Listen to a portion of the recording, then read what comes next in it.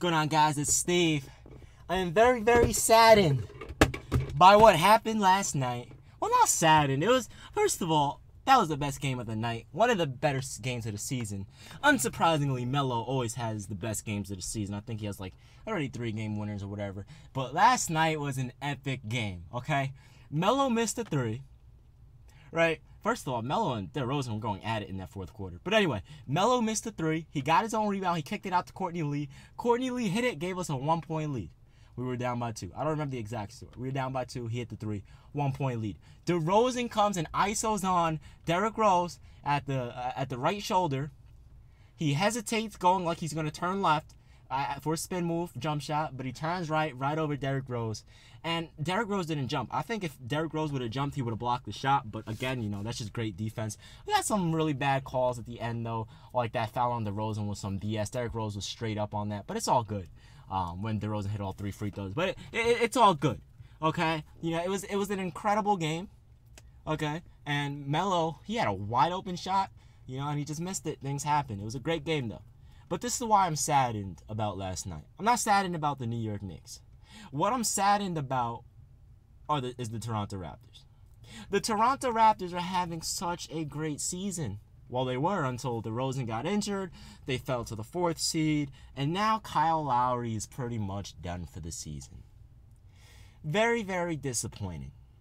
What does this mean? Kyle Lowry and DeMar DeRozan should have been in the Eastern Conference Finals with LeBron James. It opens the window now. It could either be, it's obviously, it's probably going to be Boston or, you know, another team if they decide they want to make the eighth seed. Uh, I'm not going to say any names, but uh, hopefully, you know, you guys can catch the hint when I make these hints. But on a serious note, very saddened by Kyle Lowry's injury.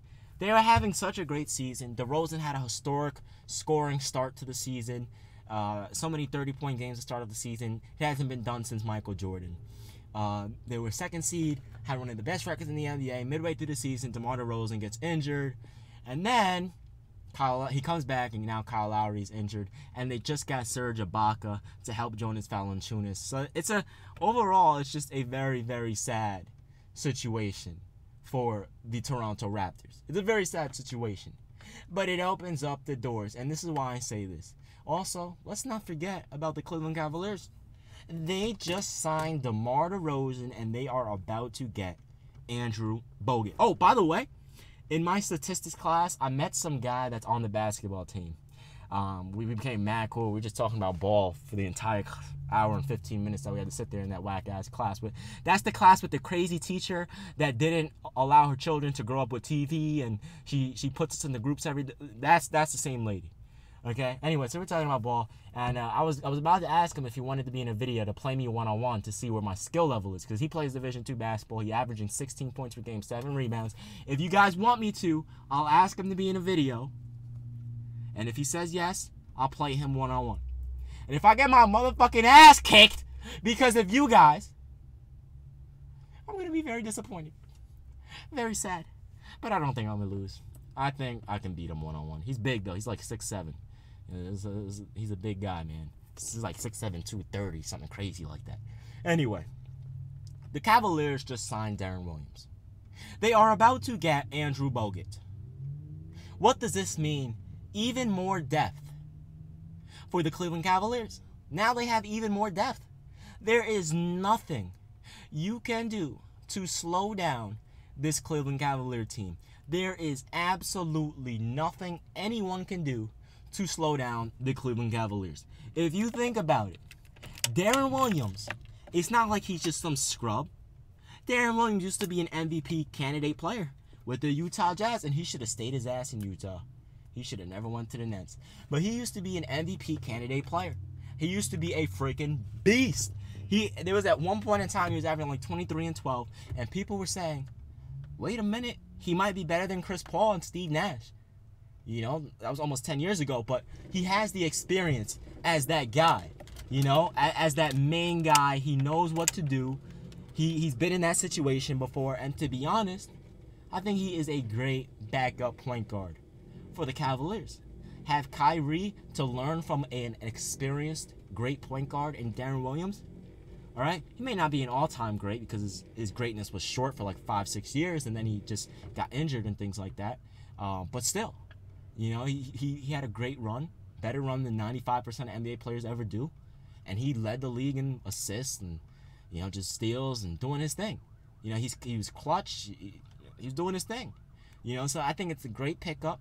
If they can get Andrew Bogut, the rebounding, this is why they should have signed Carmelo Anthony. If they would have signed Melo and got Bogut, oh my freaking goodness. Woo! But I agree with what Skip Bayless had to say about this. There are no excuses now for LeBron James. If he loses, there is no excuse. And I agree 100% with him. And that's, that's one time I actually agree with Skip when it comes to him talking about LeBron James. I agree with him. You know, there's no excuse because LeBron, Kevin Durant's record against you is like 3 and 13 or like 4 actually I think it's like 4 and 7 16 something like that. 4 or 5 and 16. Okay? You always outduel Kevin Durant. Okay? There is not one player in NBA history that has a positive record against you. Maybe Stephen Curry does. Uh, I don't know about that, but I think he had one. I don't know if he still does. He might. Uh, if he does, I think it's like one game above 500. I think he's like seven and six against LeBron, something like that, maybe more. Who knows? But there's no excuses if LeBron James loses again.